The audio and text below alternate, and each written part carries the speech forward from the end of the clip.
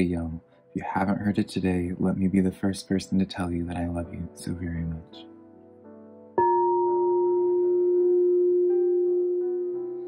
Hey, girl. My beautiful Gemini, how are you doing? My name is Simply Velca, and today we're going to be doing your weekly you versus them reading. Now, Gemini, I also do your weekly uh, general reading for your zodiac sign, which I'll leave a link to over here for you to check out at a later point, Gemini.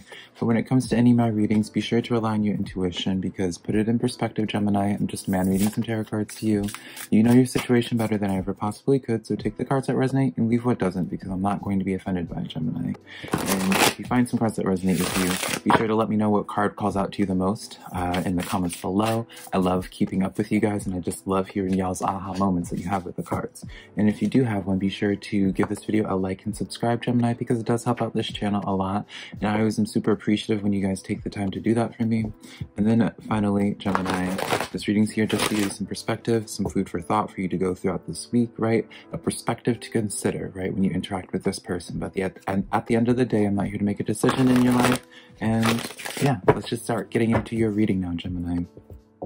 Your overall energies from uh, Oracle Animal Spirits uh, for this week is the Wombat Spirit, which is 68, number 68 rather, uh, Gemini, and that would be, you see how I'm buying time to do the math, that would be 14.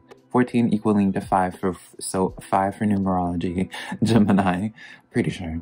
And so this card is telling you to be at home and then we have the shark card coming in as well, which is a very interesting dynamic, uh, Gemini, because this card is asking for you to trust your instincts and discern the truth of the situation. So I say this is interesting, Gemini, just because it's like almost like a message in of itself to something relate in relation to your home life to start using essentially like your intuition uh, with something. But when you have it with the shark card, um, I don't know. I kind of want to just say there's just probably I'm going to be honest, Gemini. It might just be like a side message and just like something dealing with like your own personal life that has nothing to do with this reading, right? Maybe if it is someone in your home life, right? Like this reading is about, then perhaps like consider like what's going on with him because it is it does give me a sense of there's something going on that you might not be aware of. I don't want it to sound ominous because I don't think it's ominous, right? We'll see with the tarot, right? Uh, and maybe if we get a, I won't be surprised, I guess, uh, Gemini, if we get a uh, some high priestesses in here in this reading or some hierophants, right? Just some more intuitive cards, but I don't think we have anything to worry about it, but uh, I'll let you know later, right? Uh, let's start getting into the actual tarot of things, Gemini. I'm going to be pulling a card for you, a card for them, Gemini, and then a card for the energy in between y'all two. So uh, let's just get going with that. Really good cards though, Gemini. I know last week, Gemini, y'all were going through a relatively rough patch, so definitely I'm glad to see in this spread at least, I guess perhaps pertaining just to the situation at least, Gemini, that things seem to be improving a little bit for you. So I celebrate you for that. Um, on your side of things, Gemini, we have the Hermit card, number nine. So this card is just a card where I feel like and if it's if I'm correct in like the sense of what I'm getting intuitively and just like for my Geminis that have been following my readings, I feel like this makes sense for you, Gemini, just because you guys have, especially last week, you guys were going through a relatively rough patch, a really rough, I don't want to say rough transition, but you just had a lot of heavy energies, I guess um, you felt very alone and just you could only rely on yourself for this week. But I mean, dare I say that's kind of been more than just this week uh, for you. But you just kind of been in this hermit mode. Uh, perhaps you just are at a um, in this hermit mode because you don't know what's going on with them, Gemini. Uh, I say this because they have the Queen of Water. So this is an emotional person, Gemini, and I don't know why, uh, but I just kind of get the sense that this person isn't really, um, they're not in tune with their emotions a little bit, Gemini, or they're in tune with their emotions, but they're, it's kind of like, it's kind of fiery, I guess. It's part, you might be dealing with the fire sign, but I just feel it's like very much, the emotions that they feel, it's very dramatic. And I don't mean that in like a condescending way. It's just really intense that can perhaps feel a little bit disorienting to deal with. Um, but the energy between y'all two is a really good card as well. It's the Ace of Water, which is the Ace of Cups, which by the way, in Tarot, um, water is the element for cups. So this would be like the Queen of Cups for them. This would be the Ace of Cups for them, or for the energy between y'all two, Gemini. So this is letting me know this is a deep connection, right? This is like whatever you would want to, I'm not going to say if it's a soulmate or twin flame, right? You, that's for you to like figure out. You would know, right? You don't need a tarot reading to tell you, but this would be more so the affirmation of a deep connection, Gemini between y'all two. And I want to point out as well, a new home is what this card says. Actually, I will just read off this card. It says falling in love or the resurgence of a relationship. So perhaps you guys are probably, especially since you are in this hermit energy, Gemini, perhaps you guys have been a little bit apart or like a little bit of a distance. So I see you guys, perhaps I see you getting out of this hermit mode and a little bit more communication, a little bit more of a reminder of why it is that you guys are connected in the first place, perhaps. Uh, but yeah, spiritual growth, enhanced intuition, into enhanced intuition comes in this card, right? I forgot that this card says that in this deck, but also a new home. So we have that intuition card that was uh, makes sense for more so for that wombat spirit and the shark Gemini. So really do pay attention, but it's right next to a new home as well. So Gemini, really, really, really interesting. I wonder what what that is about for you guys. Like, this is kind of the kind of reading that I wish I was like a Gemini for, just to see how it like correlates because it's like, I don't know. I just love how that all just like came together so early on in this reading, Gemini. Lets me know though, it's a good sign that we're connected. It lets me know that uh, spiritually, there's like a lot of good energies take that with whatever you want, though, Gemini. But let's start getting into some clarifiers now for your Hermit card. Uh, let's see what's going on with you. A little bit more clarification. All right, back of the deck. Energy, Queen of Pentacles. So you are in this hermiting place, Gemini, perhaps just because you're taking this time to, as I was saying before, you know how I was saying that it made sense for you, especially if you've been through a pretty rough patch, Gemini. It makes sense that you are in this Queen of Pentacles phase of where you're caring for yourself, tending to yourself, and really just being about yourself. Perhaps right now it's one of those times, especially if they are, my intuition is correct with them, Gemini, with this Queen of Water.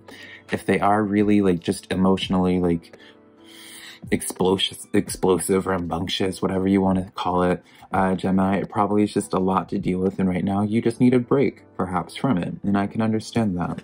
So the other, the clarifiers, rather, that we pulled for you, Gemini, for your Hermit card would be the Knight of Swords. So there does seem to be mm, let me just show you the other clarifiers first. The Knight of Swords, the Four of Cups, and then the Seven of Cups, Gemini. So, I wanted to say what I was saying before. It feels almost like Gemini when it comes to this connection. And I'm gonna just be honest here, right? I'm gonna, I might step on some toes, but this is, you know, uh, you, you're not watching this video just to be told a bunch of good, well, I, may, I guess maybe you are, but uh, it does seem to be, there's, because I see like a deep connection between y'all two, when it comes to those deep connections, Gemini, like soulmates, twin flames, what have you, those deep connections, it's usually always advertised, right, as a, um, like or people have this impression of them as like it's just like the true love like they're just like rainbows and sunshine right? You're expecting those rainbows and sunshine with that four of cups right? And even in this deck you're expecting those rainbows um, you expect things in a certain way of where it's just going to be picture perfect. There's no perfect match. So by perfect match, that means like there's not going to be any conflict, any kind of ruffled feathers, right? But that's not the case. When you have those deep connections with a person, uh, Gemini, those people are meant to teach you.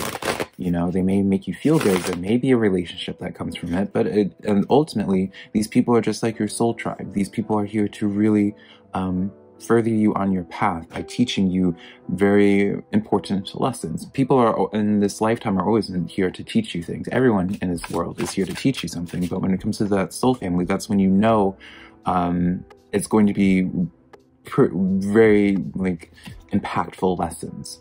Uh, and I feel like that's the sense with this uh, connection, Gemini. I feel like there's like some triggering going on from your point of view with this Knight of Swords and you see it, you're getting triggered and you run away. Um, you convince yourself maybe perhaps that this just isn't the one and it's just like you want to just like move on, cut them off and keep it, keep it going, right? Four of Cups because you have like a perspective, you have a vision in mind for how you think things should be. When in reality, if you just shifted your perspective a little bit, kind of came to a realization, you know, what this is about. Maybe even that, like that aha moment where I was saying perhaps just like realizing that maybe y'all's love language is just a little bit different. Maybe that's just like what you had envisioned isn't just kind of realistic. Uh, Four of Cups is letting, letting me know, like, you're kind of just in this place of just sitting, wanting a specific thing. But if you just turned your head, Gemini, instead of just running away from anything that is trying to, like, build up to something good, you just realized if you just turned your head, you would see this, you know?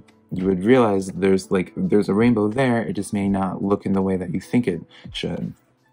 Seven of Cups does come in where it's talking about where a decision does need to be made, Gemini, of where you kind of have to make the decision of being like, okay, am I going to just buckle down and just uh, truck through these lessons, Hierophant, back of the deck, uh, truck through these lessons, right?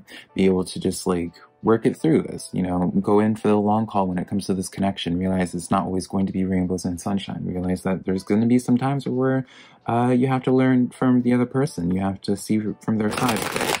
But now, Gemini, enough of that babbling, because uh, I probably like over spoke, which I apologize. But let's get into this Queen of Water for them now, Gemini.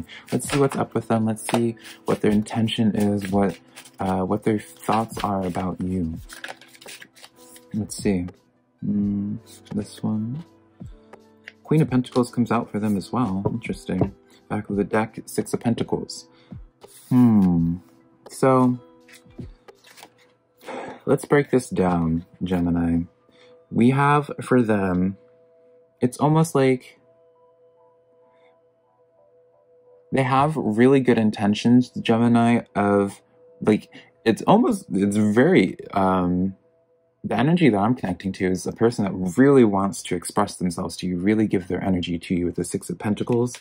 But this Queen of Pentacles here, I don't know, like this would be like a person that's like they want to give their they want their like they're helpful, they're giving, as long as it doesn't inconvenience them, right? As long as it's in their comfort zone. And I kind of get that impression with them of where it's just like they're super just emotional, they're super just like invested and what have you.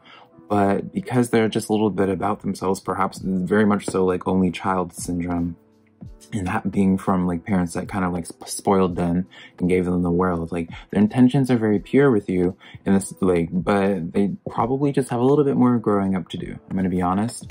Um but intentions are good and i say this because of the star card and the magician card coming in the star card they acknowledge this deep connection they probably get this impression too with this ace of water where it is a deep soulful connection but maybe they're not voicing it or maybe they don't know like the proper vocabulary for it um, and then they have the Magician card. And this is a card, this is interesting just because it's like, they acknowledge that almost like it's, I don't know, it's, they really want to create something with you, Gemini. I just get that impression, like they want to create something with you, but it's almost like they don't want to, there's like this pause perhaps just because, um, it might inter, like, I, like it might inconvenience isn't the word for it, but like they would have to uproot their life a bunch, perhaps. Maybe like a bunch of things in their life would have to change, and that's what gives them like that anxiety.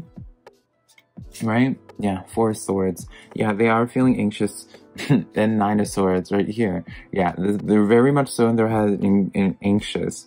Uh, like they want this, uh, Gemini, but there's something going on in their life, but it's that stops them from taking action because it makes them feel guilty or anxious or something. I don't know. Like there's there's something going on with them. Like you can like I can tell you like their intentions, like their emotions for you are strong, but something's going on that gives them guilt for um expressing it perhaps. You know, it is interesting that you have like the use your intuition and rethink things um, I don't know, my mind's going places, but I don't feel like even putting energy into that. Uh, Ace of Water, we're pulling some clarifiers for this now. The energy between y'all two. Emperor card comes out. Wow. Chariot card, Ace of Swords, back of the deck energy. Eight of Wands. Mm. So, I feel almost as if Gemini, both you guys need to come from. You guys need to get on the same page. Because it's like, I feel like you guys are. Because like y'all's love languages are different, y'all are just not understanding each other and seeing each other's point of view.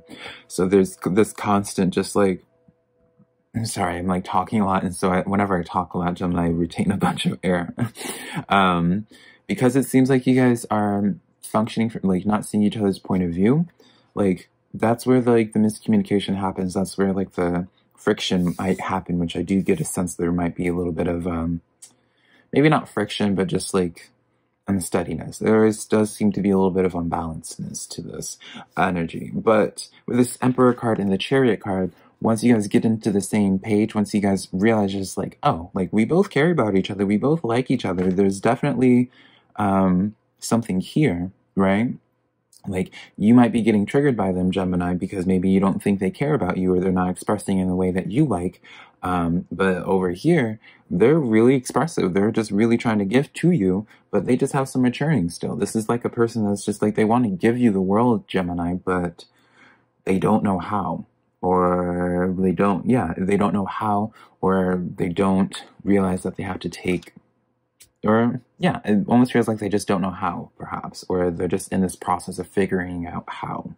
Um, but yeah, with this Emperor card and the Chariot, it's just like get on the same page and things are going to work out for y'all, Gemini. I promise you. I really do get a good feel for this energy and for this connection. There may be some misunderstandings, but I truly feel like this is just a situation of just like different love languages and just not understanding each other's point of view perspective right? But um, yeah, definitely let me know how this reading resonates with you, Gemini. Let me know how this pans out for you this week. Uh, if you enjoyed this reading, be sure to give this video a like and subscribe, and then share my videos with a friend if you think they might be into my messages, Gemini. But until next time, I love you so much.